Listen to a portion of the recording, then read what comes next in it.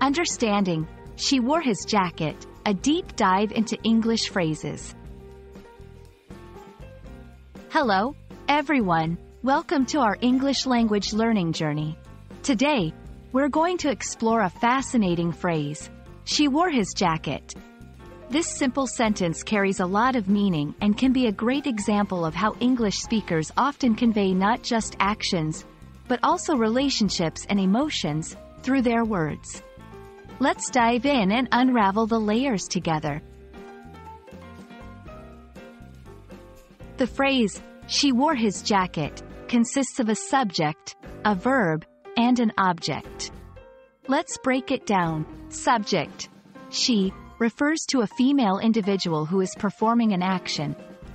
Verb, wore, is the past tense of wear, indicating that the action has already happened.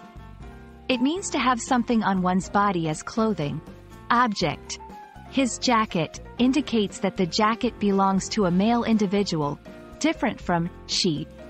The possessive pronoun, his, shows ownership. The context in which this phrase is used can add layers of meaning. 1. Temperature or weather. She might have been cold, and wearing his jacket provided warmth. 2. Relationship indication.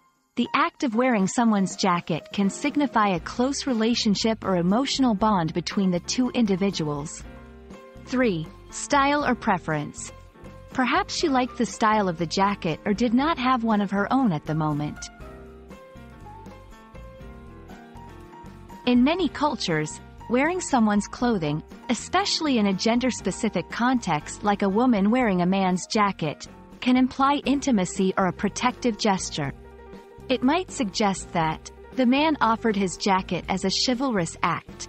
The woman feels comfortable and safe with him. There is a mutual affection or a significant relationship between them.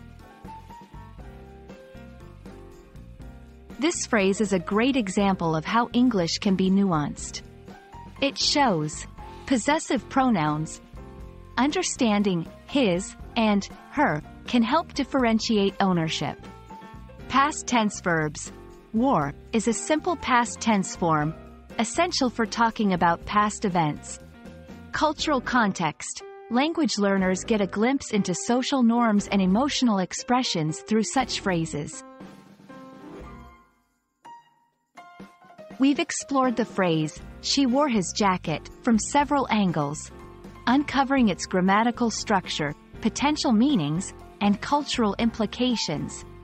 English is a rich and nuanced language, and phrases like these are gateways to deeper understanding and fluency.